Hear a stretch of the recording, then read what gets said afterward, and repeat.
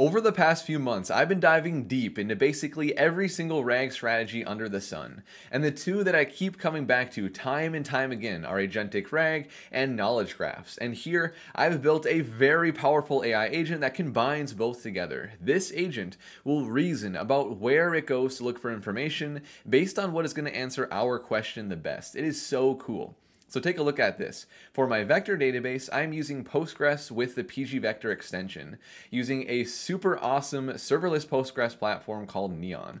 So I have my document here chunked up, I have the embeddings created for it. This document basically just has a lot of information about big tech companies, their AI initiatives, and then also how they are partnered together.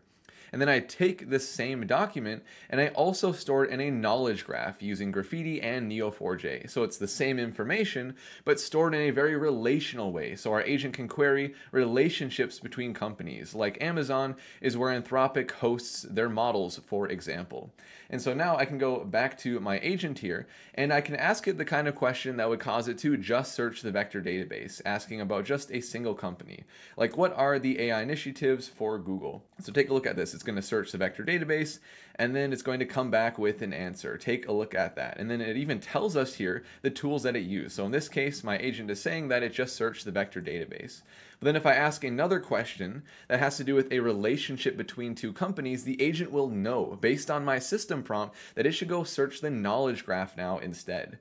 And so take a look at this. There we go. The tools used. Now it's using the graph search instead of the vector search.